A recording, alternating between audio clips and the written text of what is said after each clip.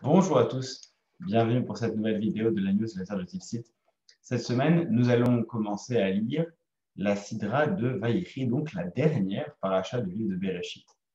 Dans celle-ci, nous allons assister à un moment magnifique qui est la fin en fait de l'épilogue de la vie si difficile de Yaakov, lui qui a été pendant si longtemps séparé de son fils Yosef, il va enfin non seulement pouvoir le retrouver, mais bénir ses petits-enfants avant de quitter ce monde entouré de toute sa famille, entouré de tous ceux qu'il aime. Parmi eux, donc, Yosef, son, fils, et puis Ephraim et Ménaché, ses deux petits-enfants.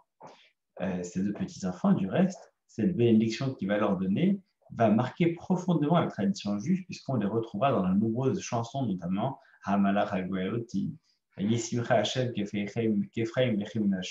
c'est la bénédiction que l'on dit aux enfants dans la tradition juive. Ça commence par cela. Lorsqu'on bénit les enfants, eh bien, l'archétype de la bénédiction, c'est euh, celle que Yaakov adresse à ses petits-enfants, Ephraim et Ménager. Tous les vendredis soirs, du reste, lorsqu'on bénit ces garçons, on reprend la même formule que Dieu te fasse, te considère comme Ephraim et.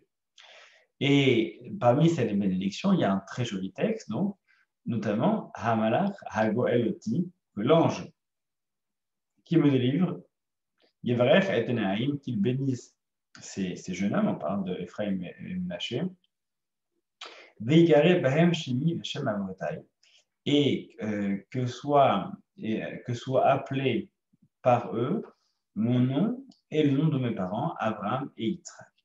Cette formulation est jolie. C'est-à-dire qu'en fait, que, euh, ces enfants, que Ephraim a ménagé et, et, que, euh, et que par extension, tous ceux qui reçoivent cette bénédiction, lorsqu'on dit avant de se coucher Hamalach euh, c'est Yaakov qui dit que, voilà, que l'ange qui le délivre, euh, c'est-à-dire celui, son, son ange gardien quelque part, puisse être celui qui va faire résider le nom d'Abraham, de Israël et de Jacob sur les, enfants, donc Ephraim Naché, et par extension sur tous les enfants qui recevront cette bénédiction. C'est très joli.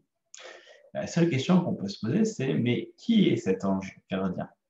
Euh, Qui est cet ange qui va délivrer et qui délivre en permanence euh, Jacob et qui va bénir du reste euh, les, enfants? Y a-t-il un ange tout particulier qui, qui veille sur on n'a pas entendu parler d'un ange particulier qui vient et qui, euh, permet de s'en sortir lors de ces, lors de ces diverses euh, euh, épreuves.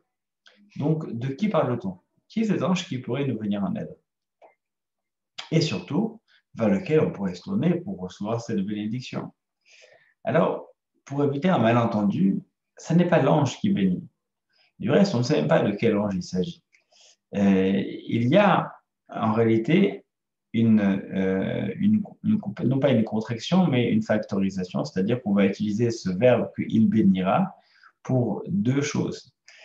en fait, ce verbe de il bénira, selon certains commentateurs, se rapporte non seulement certes à l'ange en question, en fait l'ange de Yaakov, c'est-à-dire ce, ce euh, l'ange qui va, l'ange d'Israël qui va incarner en fait les actions du peuple d'Israël en haut, mais surtout euh, celui qui va bénir, ce verbe bénir est, un, est, mis en facteur pour, les, pour, le verset également précédent.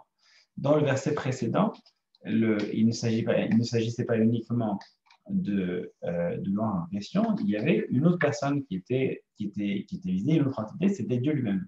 et Yosef, il bénit Yosef et il lui dit à Elohim, l'éternel dans lequel mes, parents avant moi ont marché dans le chemin, dans son chemin. Mes parents, Abraham, Israël, c'est ce Dieu-là, a réoti celui qui me guide, euh, donc jusqu'à ce jour, jusqu'à aujourd'hui. Et ensuite, l'ange également, qui me, euh, qui, me, qui, me, qui me délivre, lui bénira. En réalité, il s'agit tout simplement de Dieu lui-même. Un l'ange en question, l'ange en question, il n'y a pas d'entité indépendante qui va venir nous sauver, qui va venir nous protéger. Il s'agit de Dieu lui-même.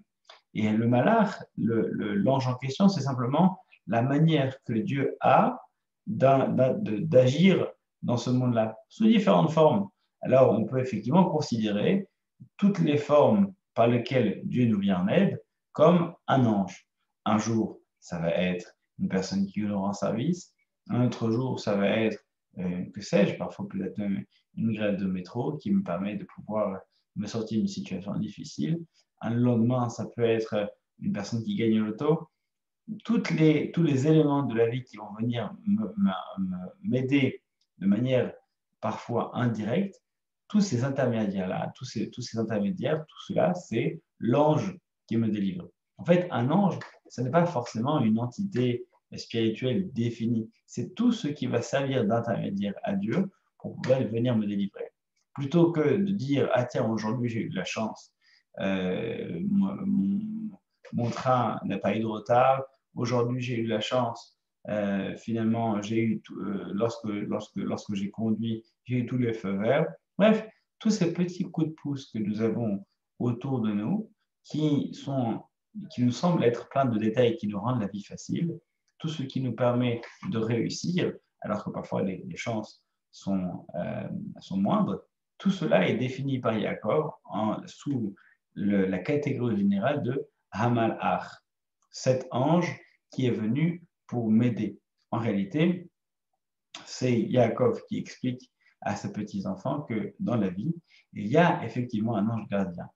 Mais cet ange gardien, c'est-à-dire celui qui veille sur nous, c'est Dieu lui-même.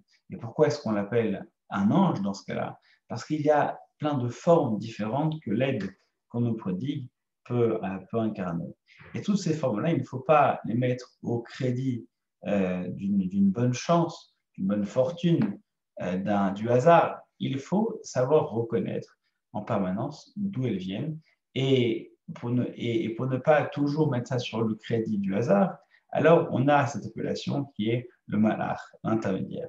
Un malach celui qui me délivre en permanence, celui qui m'aide en permanence, lui aussi vous permettra d'être comme Abraham, comme Yitzhak, et fera résider sur vous le nom d'Israël, le nom d'Israël, donc Yachar, elle, celui qui va directement vers Dieu, sans intermédiaire, c'est de cette manière que le nom de, mes parents, c'est ce que dit Jacob, Abraham et Yitzhak, et le mien également, nous qui avons su, nous qui avons vécu dans cette droiture, dans ce lien direct et euh, euh, sans, intermédiaire avec Dieu, bien c'est cette manière de vivre-là, c'est cette vision du monde, est-ce que Jacob, euh, que Jacob bénit et propose que ses enfants, espère que ses enfants, ses petits-enfants pourront incarner également. Bien, que cette vision puisse également reposer sur toi et de cette manière-là, et que cette vision puisse également qu'ils puissent, eux, se multiplier sur la surface de la terre et que cette vision puisse également se multiplier sur la surface de la terre. Quelque part, on peut imaginer tout simplement que Jacob demande à ses petits-enfants, par l'intermédiaire de cette bénédiction, de faire en sorte de continuer à faire connaître notre manière d'être, notre manière d'exister, de percevoir les bienfaits dans ce monde-ci, sans intermédiaire. Et c'est ce que c'est notre rôle en tant que descendant d'Abraham, Yitzhak, Yaakov, Yosef, Ephraim et à notre tour, de pouvoir permettre de faire connaître autour de soi qu'il n'y a rien qui nous sépare d'Akadosh Baruch Lorsque quelque chose nous arrive, eh bien, il faut savoir également être reconnaissant en toutes circonstances. Shabbat Shalom, et la semaine prochaine, nous commencerons le livre de Shemot.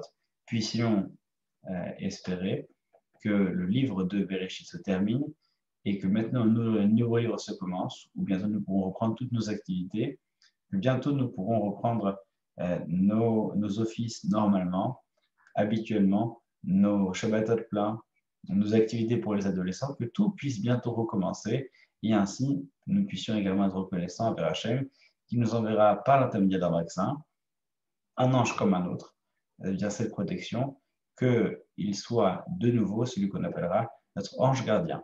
Shabbat shalom à tous et à la semaine prochaine pour la vidéo de la newsletter.